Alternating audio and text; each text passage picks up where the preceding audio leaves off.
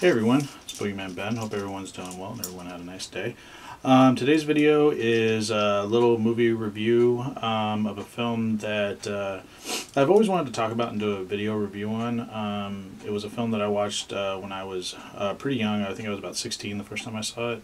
And uh, it was kind of a fluke that I saw it, but it was a movie that for some reason always stayed with me. Um, it was just one that I thought was uh, interesting and creepy and uh, it featured a pretty well-known B-movie actress, and um, just wanted to talk about it today. I just started thinking about some some movies that I haven't really talked about in my videos before. Um, the movie I'm referring to is uh, Grandmother's House, and uh, this is a movie that stars Brinke Stevens, who was a pretty well-known B actress, B-movie actress from the 80s and early 90s. And uh, just going to give my thoughts about the film. It's a film that I haven't heard many people talk about, but it's like I said, it's always one that I really kind of uh, enjoyed as a kid, and uh, I actually found it and uh, used a DVD, um, Blu-ray uh, uh store uh, that I frequent, uh, just looking for kind of some of those DVDs and Blu-rays that are kind of hard to find. So, um, just going to talk about this film, and I hope everybody enjoys this review. Stay tuned.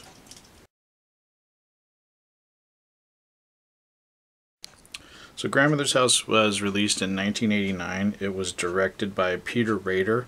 Um, the writers on the film were Peter Jensen, Gail Jensen, and the screenplay was done by Peter Jensen. The film stars Eric Foster as David, uh, Kim Valentine as Lynn, Len Lesser as the grandfather, Ida Lee as the grandmother, and Brinke Stevens, who is just known as the woman. The film was produced by Nico Mastorakis, and the original music was done by Nigel Holton and Clive Wright.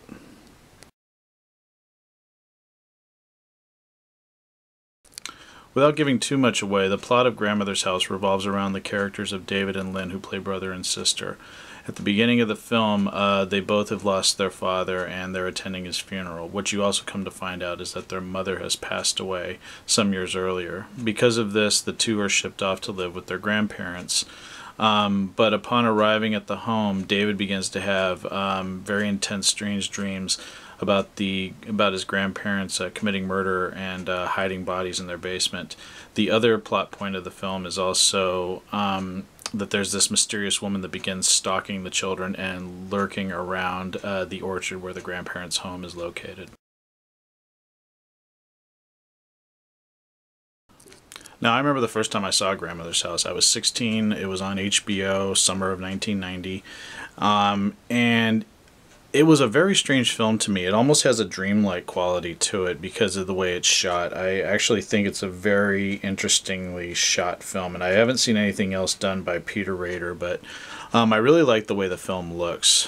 Um, I didn't know much about Brinke Stevens at the time, and I also didn't know much about Len Lesser. I believe Seinfeld had already started, and I know he was on Seinfeld, but uh, didn't know much about these actors at all. I just thought it was a creepy looking movie.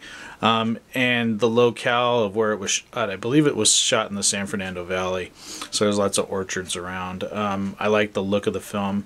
I do think the there's some good acting in the film, particularly by Len Lesser, who plays the grandfather, and he has like this weird kind of there's times where he seems like a very nice man, especially when the kids first arrive at the home.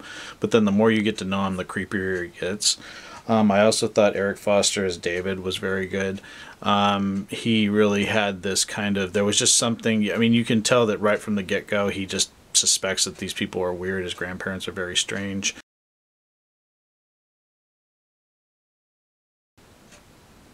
Um, Kim Valentine as Lynn. She's good in the film. I, I didn't think she was that great. I mean, she's she's uh, she does a good job in the film, but uh, you know, like I said, you know, I don't think she was as interesting as um, Eric Foster's portrayal of David was.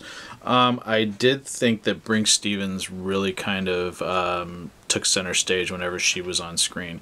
Very creepy. She doesn't have a lot of dialogue in the film, but she's this very creepy woman, and you don't understand really where she came from or who she is, but there's just something about her that just really freaked me out the first time I saw it, and I just think her performance really is the the most captivating of all.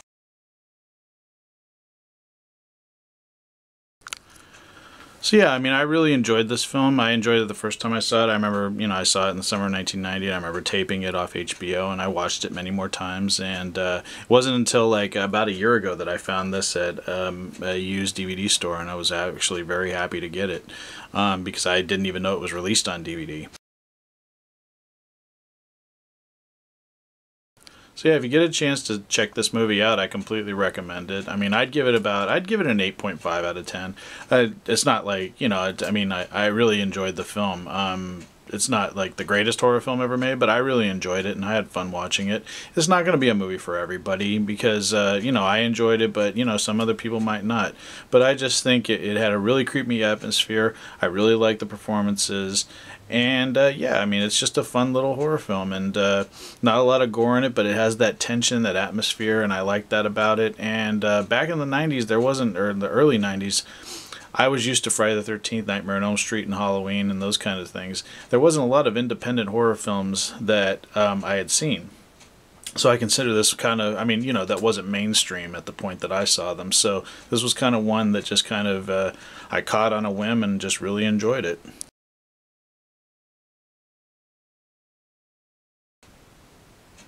So that's my review of Grandmother's House. Um, if anybody else has seen it, uh, tell me what your thoughts on the movie were. And uh, thanks again for watching, and I'll talk to you soon. Hope everyone has a nice evening. Later.